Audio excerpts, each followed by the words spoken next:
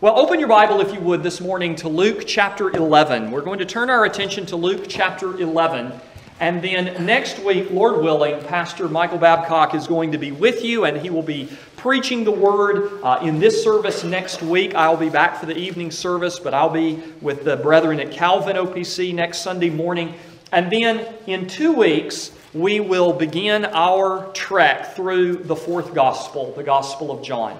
And it's something that we have been praying about and working toward and, and looking toward now. Uh, it was actually planned before we even moved here uh, over two years ago. And so now I'm excited to finally be coming to the fourth gospel and rather intimidated at the prospect of preaching through that book again. But that will be our plan starting in two weeks. But today I want to speak with you for just a few minutes about a subject that I think is very important and yet very basic. In fact, much of what I'm going to do with you in this sermon this morning is to give you what I hope will be some encouragement and some suggestions for experiencing a more disciplined prayer life. I know that in the, uh, the new year, a lot of people make resolutions, and it may be that some of you even resolved to pray more or to pray better. And yet, if you are like me, and I know that not all Christians are like me in this regard, but if you are like me,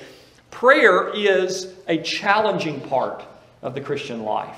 I have always found it to be so. Now, I have talked to many Christians over the years who are, are just the opposite. Prayer is the easiest and most rewarding part of their Christian life, and reading Scripture or studying Scripture or memorizing Scripture, that's the, that's the real challenge. But for me, it is just the reverse.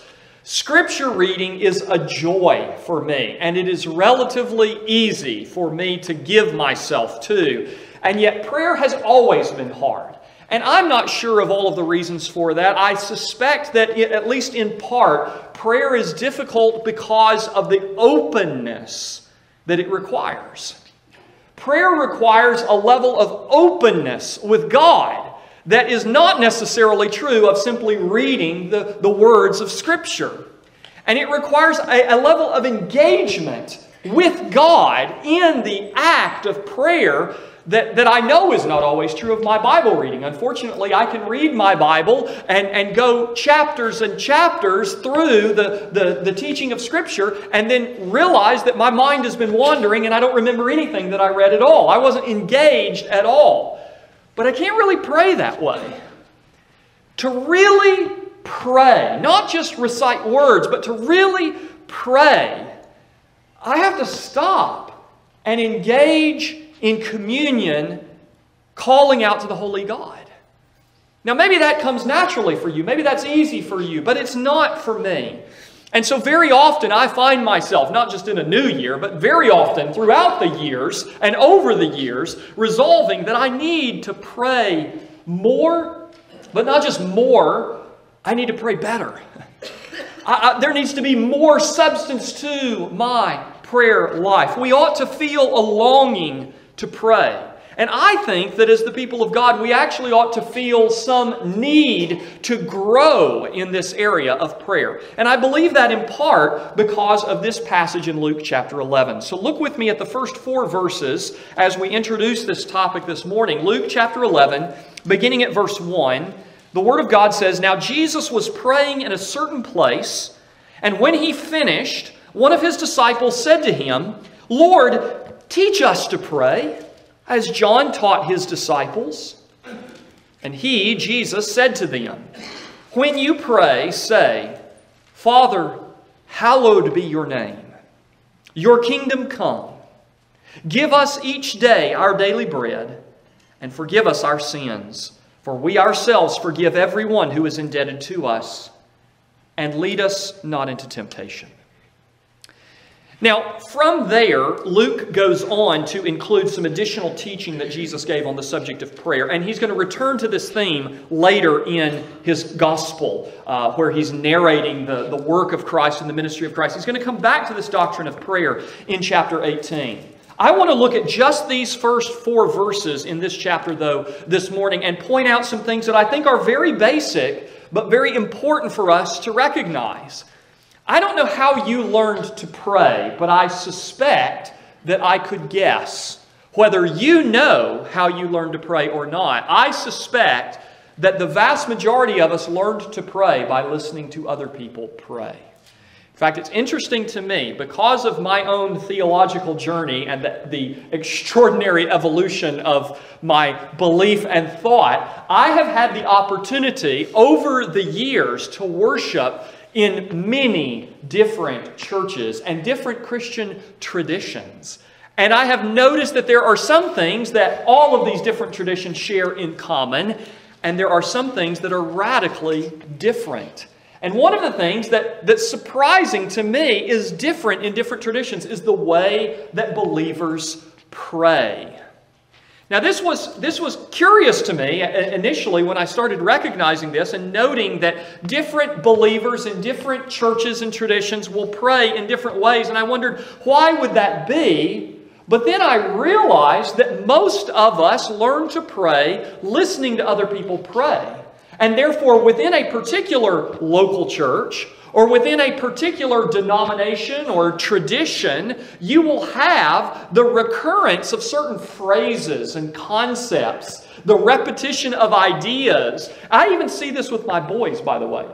My boys, when they lead prayer, sometimes in our family devotions in the evening, they will, they will repeat phrases that I know they only learn to pray by listening to me pray on Sunday mornings because there'll be phrases that I only use in the corporate gathered church, that I don't necessarily use in family worship or when I'm just praying with some of the children individually. I know that they learned those phrases by listening to me pray on Sunday mornings. And yet they're just naturally assimilating that language and sometimes even the specific words into their own prayer life.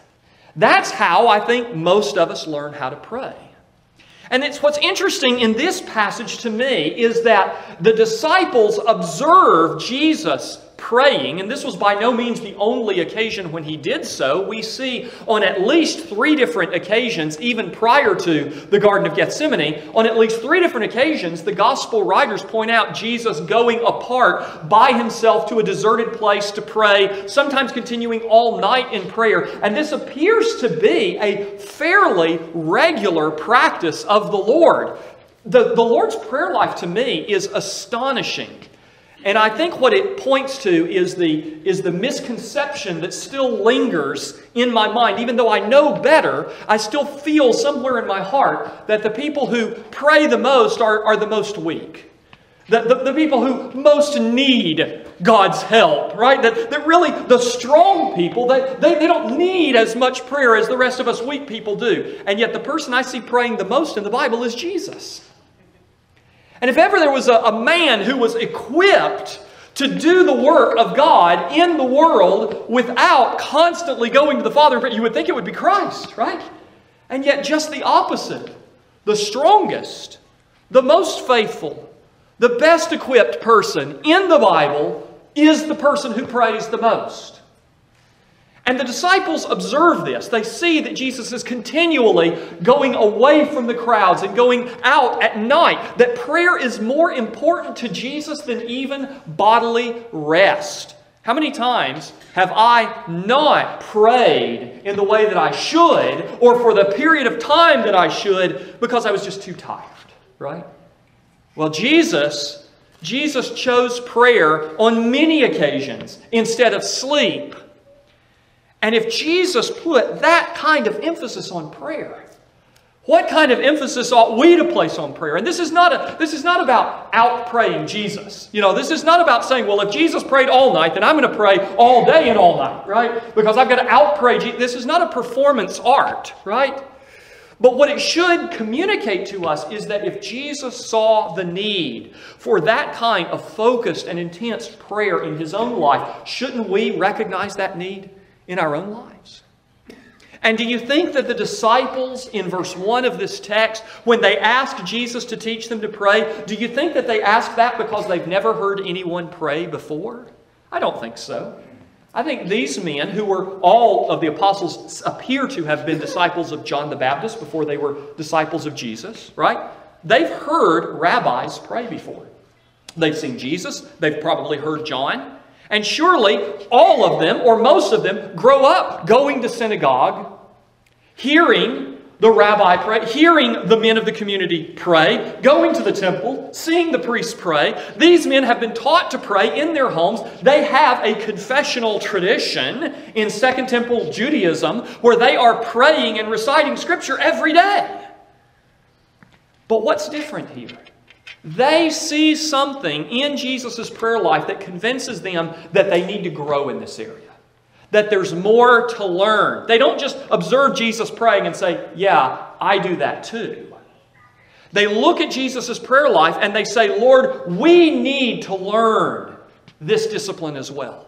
There's more that we need to learn. We need to grow in our practice of prayer. Now, do you and I see that same need in our lives? That's what I'm hoping that you'll get a sense of here this morning is that if, if prayer is not already one of those areas of your Christian life where you say, I need to grow, that at the end of this study you'll be saying, I need to grow. That we won't be content with our prayer life as it is today, but that just as we seek to grow in the knowledge of God's Word, just as we seek to grow in holiness, just as we seek to grow in obedience to the revealed will of God in Christ, so too we would seek to grow in this discipline as well. Lord, teach us to pray as John taught his disciples. And perhaps this was something that would be practiced by all rabbis, that they would teach their disciples how to pray better. Now, verses 2, 3, and 4, you probably noticed, are an abbreviated form of the Lord's Prayer, the model prayer. Most of us memorized and are much more familiar with the version of that prayer that appears in the Sermon on the Mount in Matthew chapter 6, verses 9 through 13. It appears to me, and I recognize that some critical New Testament scholars would dispute this, but it appears to me that Jesus does give this prayer to his disciples on two occasions. And that this is not merely a repetition of ideas, but that this is a model that Jesus is using to teach the practice of prayer, sometimes in a private setting, and sometimes, as in the Sermon on the Mount, in a more corporate gathering. But here, Jesus gives this abbreviated form of the Lord's Prayer. And he goes so far in verse 2 as to say this When you pray, say, and then he explains. When you pray, say these words. Now, that should tell us right off the bat something that was disputed in the churches that I grew up in. The churches that I grew up in said you should never recite the Lord's Prayer, and we never did, right? In fact, they didn't even like calling it the Lord's Prayer. They would say it's the model prayer. And, and they had a point, by the way. The Lord's Prayer, uh, it, it, would really be a prayer that Jesus himself prayed. The only problem is that for 2,000 years, people have been referring to this as the Lord's Prayer. So after 2,000 years, that name is probably going to stick, right? Jesus is giving his disciples a model He's not saying that these are the only words that disciples ought to say in prayer. He's giving them a form, He's giving them an outline, He's giving them a starting point. But the fact that He says, when you pray, say this, tells us that there's certainly nothing wrong with reciting that prayer. Uh, sometimes, and, and it depends on what your background is and how you grew up and what you've been taught and where you've worshiped, but sometimes people object to using a written or a memorized prayer like this. And, uh, and certainly, like I said, my own background was out of that tradition. But, but I want you to understand that the Psalms, the Psalms are prayers that would be memorized and recited by the people of God for really thousands of years right? And, and many, many of the prayers in the New Testament that we have recorded for us are actually uh, uh, heavily dependent upon some of the prayers of the Old Testament. There's nothing wrong with having a form of prayer that you might recite or say. What matters in prayer is not whether the prayer is extemporaneous. In other words, you're making it up on the spot. What matters in prayer is whether you mean what you're saying whether you're really engaged in addressing God. That when you say, Our Father in heaven, hallowed be your name, what matters is whether you are speaking to, the, to your Father those words from the heart, or whether you're just reciting the words that are written somewhere on the page. The disciples wanted to pray better. Teach us to pray. What, what does that mean? I'm not sure what they saw that was different in Jesus' prayer life. It was, if it was the words that he said, if it was the way that he prayed, if it was the length of time that he devoted to prayer, but in some way, the disciples see the need to grow in this discipline, and we ought to see the same as well. And so let me give you some suggestions, drawing out of this text, but also going outside of this text a little bit, for how we might learn how to pray and learn to be more disciplined in our own prayer life. And the very first thing is this model prayer that Jesus gives us. It is introducing some structure into your prayer life. I think a lot of us, uh, maybe not all, but many of us probably have had in years past a very haphazard approach to prayer that when we pray, we don't really have a plan, we don't really have a form. We will frequently tell people, I'll pray about that, and then we never do because we forget. Uh, and when we pray, we find ourselves very quickly at a loss for words because once we've prayed over our food and prayed for us to have a good day and prayed for all of our sick people to get better, then we're, we're kind of done because we don't know what else to say. The model prayer that Jesus gives to his disciples here, the Lord's Prayer, forms a very helpful outline that can be useful to disciples today in prayer. I mean, even the abbreviated form here, notice, Father, hallowed be your name. Hallowed is the idea of praying that God's name might be treated with reverence, that it might be regarded as holy. And so the prayer opens by addressing God in this intimate way as our Father and then expressing this desire for the hallowing, right? The sanctifying of His holy name. And then your kingdom come. Now, if you were to uh, chart out how much time you spend on various topics in your prayer life, I dare say that many of us would find that much of our prayer time is spent on very physical and material concerns. Right? What most often occupies our mind in prayer? It's our needs, our wants, our fears, all of those kinds of concerns that we have, often relating to material things. Now, is it wrong to pray about that? No, of course it's not wrong. We have examples of that in Scripture. We have very limited examples of that in Scripture. Very limited. Remarkably limited.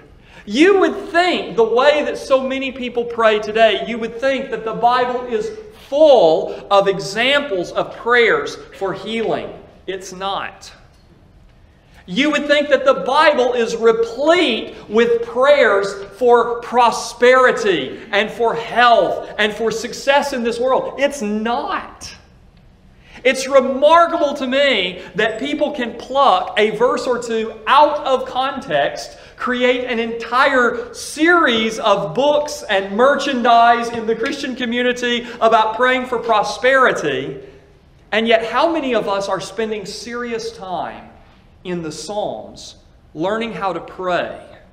How many of us are spending serious time in Paul's letters with his prayers, learning how to pray for the growth of the church and for the spiritual uh, blessing of God's people?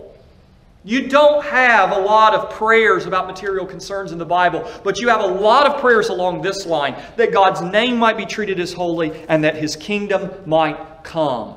You think about the longer form that we're familiar with out of the Sermon on the Mount. Your will be done. Thy kingdom come, thy will be done on earth as it is in heaven. How do you think God's will is done in heaven? Do you think that in heaven, when the Lord gives a command, that the angels say, Hang on a minute? Do you think that they say, I'll get to that in a little while? Do you think that they dispute with him about what he's asking to be done? Or do you think that God's will in heaven is done reverently, gratefully, quickly, carefully. How should God's will be done on earth? Do you realize that when we pray, Thy will be done on earth as it is in heaven, we're praying not just in this world, in general and abstractly, but what we're praying is that God's will would be done in each of our lives, in each of our homes, in the church, and in this world, as it is done in heaven. You see, what, what the, the model prayer gives us, what the Lord's Prayer gives us, is an outline for working through the concerns that Jesus says we ought to be praying about. Addressing God in worship and in praise, petitioning Him for the kingdom. Yes, asking for daily needs. You notice there in verse 3, give us each day our daily bread, but it's, but it's give us each day our daily bread. It's not hardly the kind of prosperity, the abundant prosperity that many of us want or hope to receive. What does, what does this bring to your minds when Jesus says, Give us this day our daily bread? Do you think about the manna in the wilderness? Do you remember the rules about the manna in the wilderness? That the Lord says, Six days I will give you manna, sufficient for each day. On the, on the sixth day, I'll give you enough for the sixth and the seventh day because there won't be any manna on the Sabbath. But on any other day, if you try to gather more than you need for that day, it will rot and breed worms. How, how powerful a lesson is that for the people of God to trust God to say, I'm going to go out and there's food lying all over the ground and I'm going to get just what I need for today. And then I'm going to go back inside and I'm not going to worry about it. And I'm going to trust that tomorrow there's going to be food all over the ground. And I'm going to get just what I need for that day. And then I'm going to go back inside. And I'm not going to worry about it. You see, we look at our refrigerator and our pantry and our bank accounts and our, our, uh, our retirement accounts, and, and we're thinking days and weeks and months and years into the future. And we're worrying and we're stressing about this. Jesus says when you pray about your material needs, pray for what you need today. And trust that God will take care of your needs today. Paul says in 1 Timothy chapter, two, uh, 1 Timothy chapter 6, he says, having food and clothing, with these we shall be content. And I have always thought as I read that passage, if I had been writing 1 Timothy chapter 6, I would have put more on the list, right? Having food and clothing and health, good health, right? Don't you want to be healthy? Maybe having a, a, a shelter, a, a nice house, a paid for car, or a motorcycle, or you know, whatever. I mean, wouldn't you add some things to that list and say, then I will be content? he says, no. Having food and covering for your body, that's enough. That's all you need. So why would you spend most of your time praying about things that are of relatively minor importance? Confession and forgiveness of our sins. Forgive us our sins, for we ourselves forgive everyone who is indebted to us. Well, you can't pray that unless you are unless you want to compound your sins with regard to prayer and, and, and make yourself a hypocrite as well. How sobering is it to pray for the forgiveness of our sins, recognizing that the demand of God is that we forgive just as we have been forgiven? And how does that even expose perhaps sin that lingers in our own lives? And lead us not into temptation or as the fuller version goes on to say, but deliver us from evil, or probably better translated, the evil one. That basic outline can be used. You, you just start going through the Lord's Prayer. You, you pray the Lord's Prayer, but, but you, you develop those ideas. It adds structure so that you're, you're including those elements of prayer that are important, according to Jesus, for us to be spending time in prayer upon. Oftentimes, I teach a, a little bit different structure. When I'm discipling a new believer, I'll use the acronym ACTS, A C T S. And many of you have probably done this as well. Four major themes in prayer adoration, that's another word for praise. Confession, that is, confessing our sins before God, recognizing the need for cleansing and forgiveness as we come into the presence of a holy God. Thanksgiving, that is acknowledging God's goodness in our lives, and then supplication, that means asking for things. But, but the thing that I find helpful about that particular structure, and one of the reasons I use it with new believers, is that many people's prayer lives are dominated by asking for stuff. We treat God as if He were a vending machine. We only pray when we want to punch a button and get something from God, when in fact our prayer should spend far more time praising God, confessing our sins, and thanking Him for His mercies than asking for things. And so I find that structure sometimes puts our requests in perspective and may be helpful to you as well. A second thing I want to suggest in terms of a more disciplined prayer life is making a schedule part of your prayers. Uh, maybe adding structure to when you pray and not just how you pray. Uh, all through Scripture, there is reference to hours of prayer that are set aside by God's people. Listen to a few examples. Psalm 55 and verse 17 Evening and morning and at noon I utter my complaint and moan, and he hears my voice. Psalm 119, verse 164 Seven times a day I praise you for your righteous rules. Or Daniel chapter 6, you remember when the king makes a law that for 30 days prayer can only be offered to him. The Bible says in Daniel 6 and verse 10 when Daniel knew that the document had been signed, he went to his house where he had windows in his upper chamber open toward Jerusalem. He got down on his knees three times a day and prayed and gave thanks before his God as he had done previously. This is his practice. Now, one, one quick aside what I love about Daniel's practice is that his practice doesn't change because the law is signed. And it doesn't change in either of the ways that it could have changed. See, Daniel could have known that that law was signed, and he could have said, you know what? I better start praying in the closet if I'm going to continue to pray. Right? I, I, I better hide my prayer life. He doesn't do that. He doesn't alter his prayer life at all. On the other hand, he doesn't go to City Hall and chain himself to the door and say, I'm going to make my prayers here today, right? He doesn't make some ostentatious display of his disobedience and his defiance to the king's rule. He just goes home and he does three times a day what he does every other day. and that should be our prayer life as well. Acts 3. Peter and John were going up to the temple at the hour of prayer, the ninth hour. Acts 10 and verse 9, Peter goes up on the housetop about the sixth hour to pray. This is their practice, this is their habit, right? Now, I want to say something here because I can anticipate a concern or a question that some people may have and say, no, wait a second. Are you saying that then uh, uh, there ought to be bound upon us uh, a particular uh, set prayer schedule or hours for prayer? And no, I'm not actually saying that because that's not anywhere in Scripture.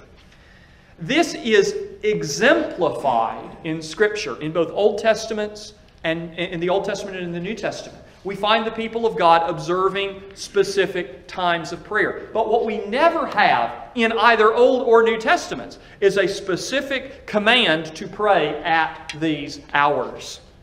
So I'm not trying to create a rule for you. I'm not trying to legislate something that God's Word has not legislated. But what I do want to encourage you to think about is that if the saints in the Old Testament and if the saints in the New Testament found it helpful and appropriate to pray at specific times throughout the day, then Christians in the 21st century might as well. Failing to plan often results in failing to execute on the good intentions that we have. And I know there have been many times where I have intended to set aside more time for prayer on a given day and then have had other obligations uh, crowded out, as it were, because it wasn't an appointment on my calendar. It wasn't scheduled. That's what I do when I have a Bible class to teach. That's what I do when I have a counseling session. I put it on my calendar and I say, I'm not available from this time to this time because I have this to do. But curiously, I don't do that with my prayer life. But what I'm suggesting is perhaps we should. If you want to pray more and more effectively, then plan your time for prayer. And, and that is in addition to, by the way, the kind of prayers that I'm sure that you and I often offer, which is just praying throughout the day, right? At random moments. I pray when I'm on my motorcycle. I pray when I'm, when I'm in the house. I pray when I'm studying a lesson. I pray when I'm on the way to visit someone in the hospital. I, uh, praying at random points throughout the day. I'm not suggesting that the only time you should pray is when you stop everything else and kneel down in your closet. But what I am suggesting is that if the only time that we pray are those random points throughout the day, maybe our prayer life would be enriched by adding some focused time to our prayers. And maybe praying for a specific period of time. And again, this is not to say that you ought to try and outdo Jesus or any of the other heroes that are written about in the Bible. But I have found it interesting in my own life. I had a, I had a, a young man that interned with me a number of years ago, and uh, he had a practice of setting aside 10 minutes every morning and 10 minutes every evening just for prayer. And you think, 10 minutes morning and evening? Boy, that guy's a lightweight when it comes to prayer. And I would ask you, how many of you devote 10 focused minutes to doing nothing but kneeling by your bed and praying morning and evening. Now, I'm sure that some of you do, actually. But I suspect that some people who would quickly scoff at that don't. And what you might find out is that the average length of time that many Christians pray is far less than 10 minutes.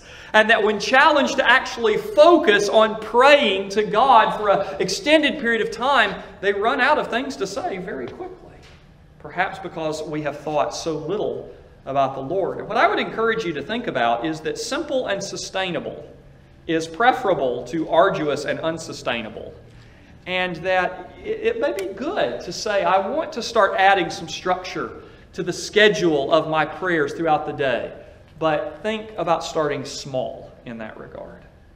And then let me suggest one other thing for your consideration this morning, and that is taking advantage of Scripture with regard to the content of your prayers. The language and imagery and content of Scripture should be a significant source of inspiration and motivation for our personal prayer life. When we're reading Scripture, we should find many opportunities to pause and to pray to God. To thank Him for the truth that He's revealed, to thank Him for His promises, to confess sins that we become aware of as we're reading the Word of God. This is, a, this is an opportune way in which to focus our prayer life. And so perhaps you want to add some structure to your prayer life by combining it with your daily Bible reading. And to say, as part of my reading of Scripture each day, I'm going to select one thing that I want to pray about, right? And it could be any number of things.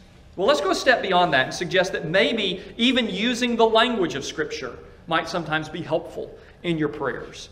I, will tell you, I use Scripture uh, regularly, especially when I am praying about the, the being and the attributes and the beauty of God. Because I find that the, the language of Scripture uh, addresses that in ways that, that I can certainly not improve upon and, and really cannot in any other way do justice to. And so going to Psalm 145 or Psalm 148 or Psalm 139 and using that psalm as a guide to reflecting upon the greatness and the glory of God and praying about it, using even language from the Psalms themselves in order to help me in reflecting upon God and praising His beauty, I have found to be very helpful. Our children, when they were much younger, as part of our family devotions, they had uh, memory verses that we would recite as a family every night, and then a motto that we would recite, and then we would always close by reciting Psalm 4 and verse 8 as our evening prayer. I will both lie down in peace and sleep, for you alone, O Lord, make me dwell in safety. Now, I guess you could say, Now I lay me down to sleep, I pray the Lord my soul to keep, and that's perfectly fine. But how are you going to improve on Psalm 4 and verse 8, right? Well, the truth is, the book of Psalms is full of prayers that are very readily accessible to the people of God today. I've given you some suggestions in the notes. I'm not going to develop that idea right now. But could I say, just as an aside, real quickly, all my life I have heard people quote Scripture when they're praying and give God the book, chapter, and verse reference. And I have never understood that. And I might even be inclined to tell you don't do that because that kind of suggests maybe a level of ostentation and visibility that I would think might be inappropriate in our prayer life, right? God knows where, what book, chapter, and verse it's found in. Um, I'm talking about just taking the language of Scripture and using it as your own words so that your own heart is speaking through the vehicle of the words that the Holy Spirit gave the biblical writers. And toward that end, let me suggest that sometimes even a longer passage is appropriate. Let me give you some examples. Go in your Bible to Psalm 51. I will confess there have been a number of times in my life where Psalm 51 has been my prayer to God. It is a, a prayer of repentance, asking forgiveness after David's sin with Bathsheba. And I have found on a number of occasions in my life when I am wrestling mightily with sin or mourning over some failure uh, before God that words fail me. I, I, I come to God and I, what, can I say again? It's me again, and I've, I've blown it again. And, and how can I continue to be weak in these ways? How can I continue to, to fail to keep your law? And Psalm 51 becomes my prayer. Listen to these words Have mercy on me, O God, according to your steadfast love According to, the, to your abundant mercy, blot out my transgressions. Wash me thoroughly from my iniquity and cleanse me from my sin. For I know my transgressions, and my sin is ever before me. Now, there are going to be a few phrases in that psalm or others that you might want to adapt a little bit to your own situation. And you might even use the psalm as kind of a jumping off point to begin praying the words of the psalm, but then be speaking to God out of your own heart, more specifically to your present need. But what I want to suggest to you is that when you use Psalm 51 to pray about your sin, I think most of us will find that we're spending more time praying about our sin than we otherwise might do. Because I think for a lot of people, when we pray about our sin, we pray somewhat in this fashion Father, forgive me for my sins. And then we move on. And that's not what David does. David soaks in his guilt. David, David soaks in the conviction of his sin and begs God for mercy pleads with God, don't take your Holy Spirit from me. Restore to me the joy of salvation. That's appropriate, brothers and sisters. We need to learn how to pray that way about our sin. What about Psalm 20? This is one that I have used, and actually, uh, Nancy knows the staff. We have used this before in praying for specific people. In fact, we prayed this for Atlanta uh, a year or so ago, I guess. And um, this is a beautiful psalm to pray for people. Again, you may have to adapt the language somewhat, but not very much. Listen to what it says. May Yahweh answer you in the day of trouble. May the name of the God of Jacob protect you. May he send you help from the sanctuary and give you support from Zion. May he remember all your offerings and regard with favor your burnt sacrifices. May he grant you your heart's desire and fulfill all your plans. May we shout for joy over your salvation and the name of our God set up our banners. May Yahweh fulfill all your petitions. It goes on to uh, affirm the faith that we have in the Lord. How easy would it be to put someone's name into that psalm and say, May the Lord bless that person in their day of trouble? May the name of the God of Jacob protect our loved one. May He send that person help from His sanctuary and give them support from Mount Zion. May He remember all their obedience and their worship. So it's not very hard to get from Psalm 20 to the kind of prayer that you and I need to pray. Just as an aside, sometimes using a good hymnal, like the Trinity hymnal, can be helpful in this regard as well. Now, what I'm suggesting here is not that you ought to discontinue the type of prayer that you may already be accustomed to, but that all of us might benefit in some ways by adding some structure, a little bit of discipline to our prayer life. So that, like the disciples, we would see that this is an area of our life where, just like all other areas of our Christian life, we need to grow. We need to be deepening our prayer life. We need to be enriching our prayer life. We need to be thinking more carefully, more biblically about what it means to approach the throne of God in prayer. We need to take that seriously. And we need to commit serious time to it. We need to recognize that prayer ought to be a priority rather than something that we just tack on to an otherwise busy day. That prayer is not the least important or least pressing need of our day. Indeed, it is the most important thing that we do each day. And it is time committed to going to God in prayer that enables us then to meet the urgent needs that confront us throughout our day. So I hope and pray that will encourage you. I hope and pray that it will help you in some way, and that this year all of us will grow somewhat in terms of our prayer life and draw closer to the Lord in that way. Let's bow and pray. Heavenly Father, thank you for the avenue of prayer that you have provided us in the name of Jesus Christ through his mediatorship, that we're able to come to you in this way, openly and freely, and know that you hear us, and know that you will answer our prayer according to your will. And we pray, Father, that you would help us to grow in this grace, that you would help us to grow in our desire to be a praying people, and that we would not be complacent with regard to our prayer lives at all, Lord, but that we would hunger and thirst to be in your presence, to spend more time, and to spend the time that we do spend in prayer, to spend it better We pray, Heavenly Father, that our hearts would be filled with reverence and with love for you, with gratitude for your good work in our lives, and that we would see, Father, the time that we spend in prayer as the very most important and precious part of each day.